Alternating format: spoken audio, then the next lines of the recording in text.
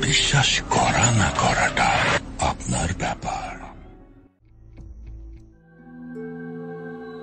নমস্কার, আমি আরজি। আর আজকে আপনারা যেই ঘটনাটি শুনবেন, সেই ঘটনাটির মধ্যে রয়েছে একটি অদ্ভুত ধরনের সাসপেন্স। আর সে কারণেই আমরা এই ঘটনাটিকে দুটি এপিসোডে ভাগ করেছি। আজকে শুনবেন এপিসোড ওয়ান আর এই ঘটনাটি আপনাদের শোনাবে সুদীপটা।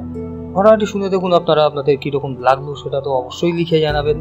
যদি ভালো লেগে থাকে, তাহলে একটি লাইক একটি শেয়ার আর চ্যানেলে নতুন হয়ে থাকলে অবশ্যই চ্যানেলটি সাবস্ক্রাইব করে পাশে থাকা বেল আইকনটি প্রেস করে দেবেন। শুরু হচ্ছে আপনাদের জন্য বাঁকুড়ার পোড়ো বাড়ি পর্ব এক।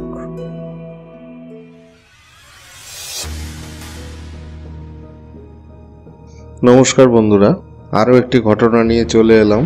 আমাদের এই আর জি রেডিও স্টেশনে তো ঘটনাটি হচ্ছে আমার এক গ্রামতুত আত্মীয়ের।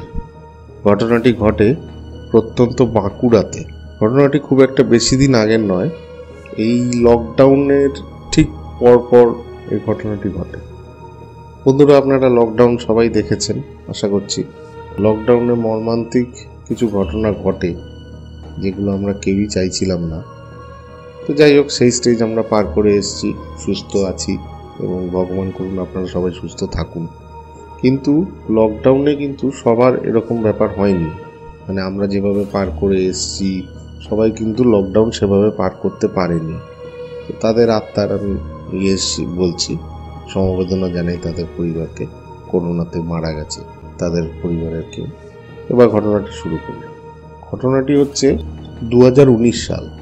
দু হাজার উনিশ সালে বাঁকুড়া যে সিটিতে ঢোকার যে রাস্তা, বাঁকুড়া শহরে ঢোকার যে মেন রোড তার আগে একটি যাত্রী প্রতীক্ষাগার মানে যে পাবলিকে বসে যে জায়গাটা গভর্নমেন্ট থেকে তৈরি করে দেয়, বহুকাল আগে একটি যাত্রী প্রতীক্ষাগার ওরকম ছিল।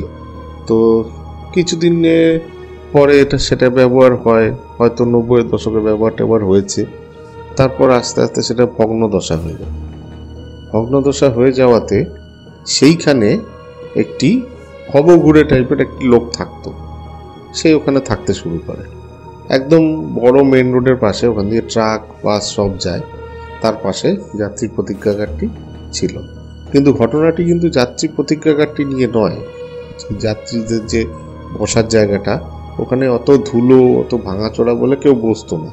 তার পাশে একটি গাছ ছিল, গাছের তলায় দাঁড়াতো। মানে কৃষ্ণচূড়া গাছ আর কি। কৃষ্ণচূড়া গাছের ছায়া খুব বেশি, হয়? তো যা দাঁড়াতো। আর রাত্রে ওসব জায়গায় কেউ যেত না। তো যাই হোক, ওটাকে হাই রোড বলে। গ্রাম সাইডের যে কোনো এরকম মানে হাইওয়ে যে রাস্তাগুলো, সেগুলোকে হাই রোড বলা হয়।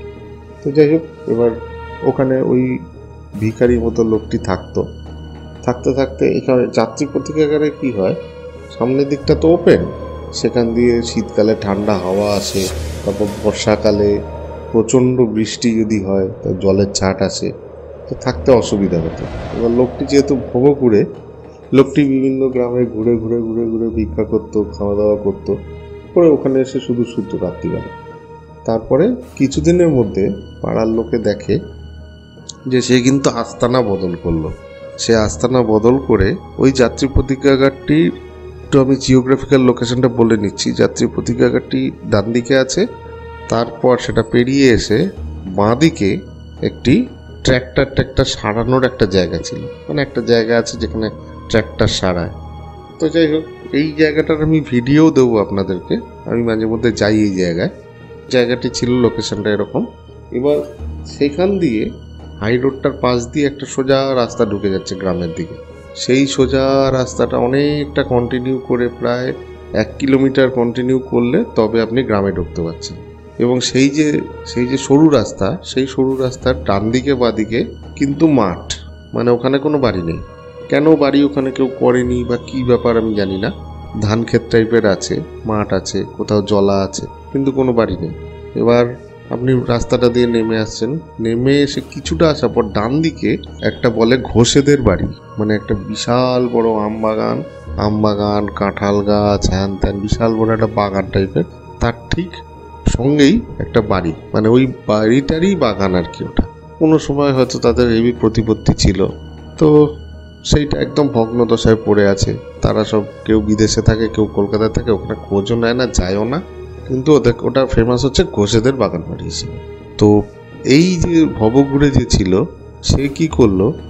ওই শেল্টারটা ছেড়ে সে দেখল যে ওই যে বাগান বাড়িটা, ওই বাগান বাড়িটা তখনও ঠিকঠাক ছিল। সবই ঠিকঠাক দু হাজার উনিশের ঘটনা।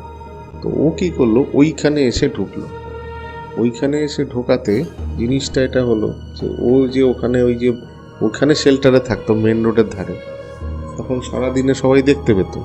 কেউ একটু রুটি দিত, কেউ একটু ভাত দিত। কিন্তু শেল্টারটা যখন এখানে হয়ে গেল, সবার অগোচরে হলো কিন্তু। মানে কেউ জানেই না যে ও ওই ঘরে থাকে। ও রাত্রিবেলা এসে চুপ চুপ করে ঢুকে যেত, ওখানে থাকতো, থেকে বেরিয়ে যেত। সকালবেলা আবার ভিক্ষা টিক্ষা করতে যেত। সে- শীত থেকে, তারপরে বর্ষার থেকে গার্ড হতো ঠিকই, কিন্তু ওকে কেউ দেখতে পেত না। রাতের দিকে ওই শেল্টারে দেখতো লোক নাই। এবার মানুষের যা হয়, আপনি একদিন যাবেন, দুদিন যাবেন তিন দিন যাবেন, পরে ভুলে যাবেন। কে কোথায় ছিল কেউ মনে রাখে না, সবাই কাজে থাকে। এবার ঘটনাটি হচ্ছে লকডাউন যখন অ্যানাউন্স হলো লকডাউন হওয়াতে কি হলো, যে যে যেখানে থাকো সেখানেই থাকো, এরকম একটা ব্যাপার হয়ে গেল। প্রথমে তো যখন জনতা কারফিউ হলো, তখন তো সেই গ্রামে গ্রামে পুলিশ টহল দিতে শুরু করল, তারপর লকডাউন অ্যানাউন্স হলো। পুলিশের গাড়ি সারা গ্রামে গ্রামে ঘুরতো। ঘুরে ঘুরে লোকজন দেখলেই তাদেরকে পেটাতো, বলতো ঘরে ঢুকে যায় ঘরে ঢুকে যায় এবার এই যে ভবঘুরে যে ছিল, সে তো ওখানে থাকে, ওই ঘরটার মধ্যে, ওই যে বড় বাড়িটার মধ্যে। এবার বাড়িটা তো একদম পরিত্যক্ত। কেউ ওই জায়গাটায় যায় না। আশেপাশেও ট্র্যাক্টরের সেই যে রিপেয়ারিং এর জায়গাটা, সেটাও বন্ধ ছিল। সব কিছু বন্ধ, ওর আশেপাশে সবই বন্ধ। পুলিশে রাস্তায় দেখলে পেটাচ্ছে। এবার ও যে, ও কি করবে? ও তো ওই ঘরের মধ্যেই বসে আছে। তো বেরোতে পারছে না। বেরোলেই তো পুলিশের গাড়ি যখন তখন এসে পেটাচ্ছে, তুলে নিয়ে যাচ্ছে। ওখানে ইয়েতে মারধর দিচ্ছে, পুলিশ স্টেশনে গিয়ে মারধর দিচ্ছে। পুলিশেরও একটু মানবিক ব্যাপারটা হওয়া উচিত ছিল। যে ওই লোকটা ভব ঘুরে ওকে যদি একটা কোথাও রাখতো বা কিছু। তো যাই হোক, পুলিশ সেটা করেনি। পুলিশেরও অনেক চাপ ছিল সেই সময়টা। তো ও কিন্তু মানে খাবার পায় না। ওই ভয়েও বেরোতো না। ভয়ে না বেরিয়ে ওই বাড়িতেই কিন্তু মারা যায়, করোনার মধ্যেই। এবার করোনার মধ্যে যেহেতু মারা যায়, তারপর কিছুদিন পরে ওখান দিয়ে যারা লোকজন যাতায়াত করছে দু তিন দিনের মধ্যে, তারা কিন্তু বিশাল একটা বিটকেল গন্ধ পাচ্ছে বাড়িটার থেকে। পুলিশও যখন গাড়ি নিয়ে যাচ্ছে ওই রাস্তাটা দিয়ে তখন গন্ধ পাচ্ছে। তখন পুলিশ গিয়ে দেখে যে প্রায় দু তিন দিন আগে মারা গেছে এবং ওখান থেকে পচা একটা গন্ধ বেরোচ্ছে। সেই দেখে পুলিশ তখন বডিটাকে নিয়ে যায়। নিয়ে গিয়ে এবার মানে লোকটি অনাহারে মারা গেছে। কেউ ক্লেম করার নেই ওর বডি। ও তো ভবঘুরে, কেউ তো বেঁচে থাকতেই কেউ আসতো না আর মরে গেলে আর কে আসবে? আশেপাশের লোক চেনেও না কে, কী ব্যাপার? লোকে ভিক্ষা দিয়ে যেত, ভিক্ষা দিয়ে খেত, ও বাড়ি বাড়ি যেত, পয়সা নিত, ভিক্ষা নিত, ওই দিয়ে কিনে খেত, নাহলে যেটা পেত খেয়ে নিত। এইভাবেই ওর চলতো। তো যেহেতু অনাহারে মারা গেছে, পুলিশ তো, আর তখনকার দিনে সেই করোনার প্রকোপ ছিল, তখন কি করল যে সেই কালো রঙের পলিথিনের মধ্যে একদম ইয়ে করে পুলিশ পুড়িয়ে দিল। কোনো কেস হলো না কিছু হলো না, পুড়িয়ে দিল পুলিশ। করোনা পেশেন্টদের সঙ্গেই একদম পুড়িয়ে দিল। তো ঘটনাটি ওখানে মানে ওই ব্যাপারটা ওখানে শেষ হয়ে গেল। এইবারে লকডাউন আস্তে আস্তে আস্তে আস্তে শিথিল হলো, লোকজন যাতায়াত শুরু হলো ওর পাশ দিয়ে। তারপরে দেখতো সন্ধ্যের পরেই যখন ওখান দিয়ে ওই রাস্তাটা দিয়ে কেউ যাচ্ছে, এবার রাস্তাটা শুনশান চারিদিকে ধানি জমি, এবার ওখানে ওই রকম একটা বাড়ি আছে। বাড়িটা এমনি দেখলেই ভয় লাগবে তা সত্ত্বেও যখন রাস্তা দিয়ে লোক যেত সন্ধ্যের পরে তখনই বাড়ির থেকে হাহাকার, আওয়াজ আসতো। মানে মনে হতো চিৎকার করে কোনো লোক কাঁদছে। মহিলা নয় কিন্তু লোক কাঁদছে। এই ঘটনাটা শুরু হওয়ার পরে গ্রামের লোক তো ভয় পেয়ে গেল। গ্রামের লোক তখন আস্তে আস্তে ওই রাস্তাটা ছেড়ে দিল।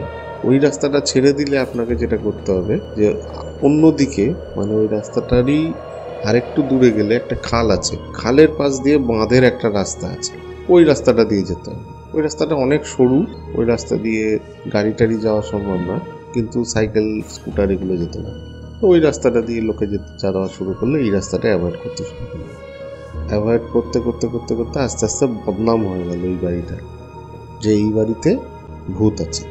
তখন এই বাড়িতে ভূত আছে ইয়ে করার পরে বাড়ির মালিকরা কিন্তু তখন মানে একটা প্ল্যান করছিল যে বাড়িটা বিক্রি করে দেবে। যে কারও যে কোনো দামে বাড়িটা বিক্রি করে দেবে। ওখানে কেউ যদি কোনো মানে কিছু করে বা কোনো কারখানা করে বা যাই করুক, সেটা বিক্রি করার একটা প্ল্যান করছি।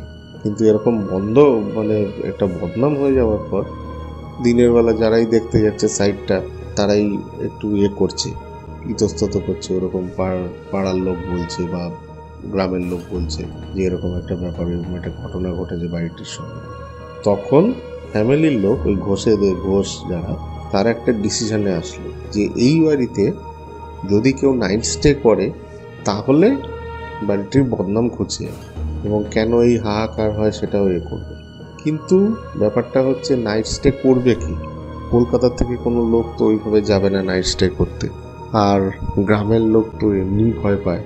গ্রামের লোক কিন্তু নাইট স্টে করতে যাবে না। এই ঘটনাটি হচ্ছে দু হাজার একুশের শেষের দিকের। মানে দু হাজার তখন করোনার ফার্স্ট ওয়েভ সেকেন্ড ওয়েভ পার হয়ে গেছে। প্রচুর লোক মারা গেছে। একুশের শেষের দিকের ঘটনা। তো গল্পটি কন্টিনিউ হবে। পরের এপিসোডটা আমি আগামী দিনে দিয়ে দেবো।